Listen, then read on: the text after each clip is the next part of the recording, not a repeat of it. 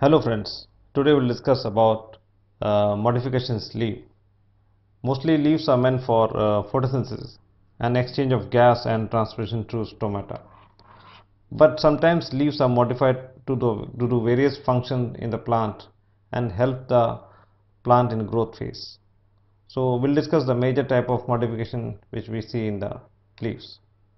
The first one is the tendril leaves. Tendril leaves are tendril leaves are mostly found in like peas in the uh, genus Pisum or uh, then the genus Lathyrus. Lathyrus. Here, here you see that the leaves are modified. The tip apex of the leaf is modified in the form of if it is a leaf is in the form of tendrils. This helps in supporting the plant and climbing climbing of the and giving support to plant for during the growth phase. The second type of modification we see is the spine modification where the leaf is uh, modified in the form of spine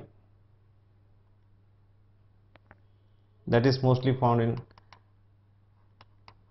arid region where the transpiration is more and uh, the plant as a defense mechanism has uh, modified the modified the leaf into the in the form of spines.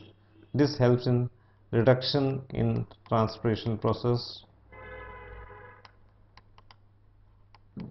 and loss of water. It mostly found in say uh, cactus is a common example for this. The the third type of uh, modification we can see the phyllodes leaves. Phyllodes leaves are basically the petiole or the or the rachis is modified to do photosynthesis. This happens just because the leaves are small ephemeral leaves are there. For example it's like this. The petiole is modified broadly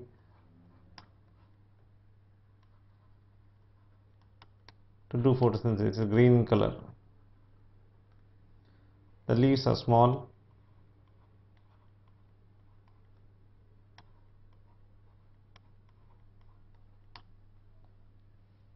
This is mostly found in Acacia genus. Acacia is a common example for this. The other type of modification we'll see uh, which is a very uh, unique modification is the pitcher leaves. Here the leaf is uh, modified in the form of pitcher and this helps in uh, catching the this is mostly found in carnivorous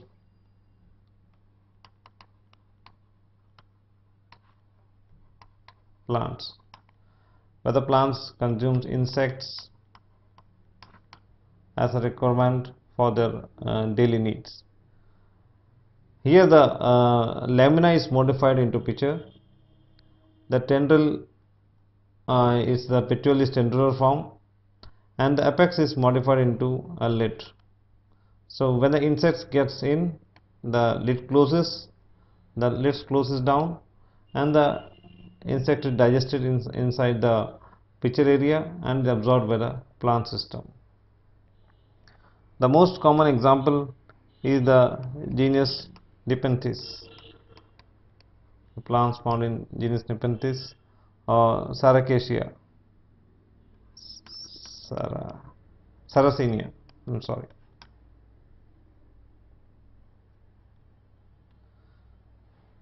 Here the leaves are modified into pitcher form.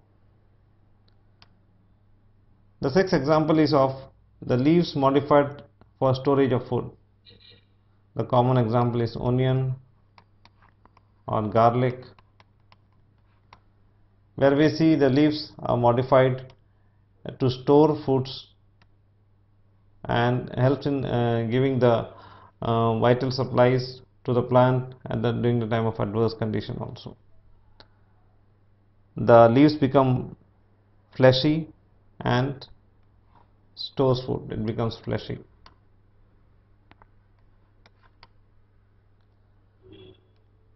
The next type of modification is the reproductive leaves. This is mostly found in Bryophyllum.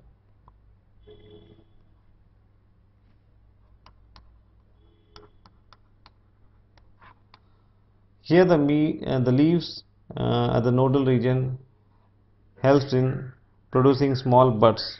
The small buds arises from the leaf and this helps in vegetative propagation.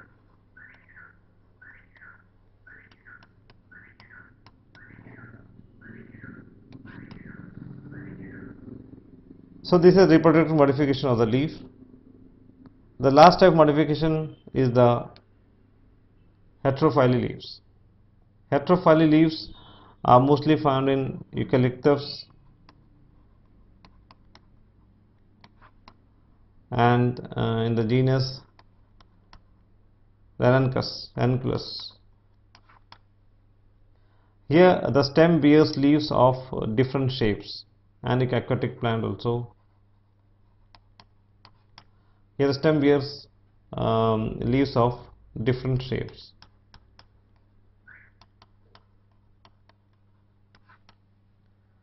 These were the seven modification, eight, seven modification of leaves which we have seen. These are the major modification. First one was tendril leaves, where the leaves are modified into tendrils. The second one is the spine leaves, in mostly found in desert region. The third one is where the leaf is the leaf petiole is modified in the form of uh, it is green for uh, helping the photosynthesis process. The fourth form is the pitcher, uh, pitcher plant where the leaf uh, is modified into a form of pitcher to catch insects. So uh, the, these are the modifications.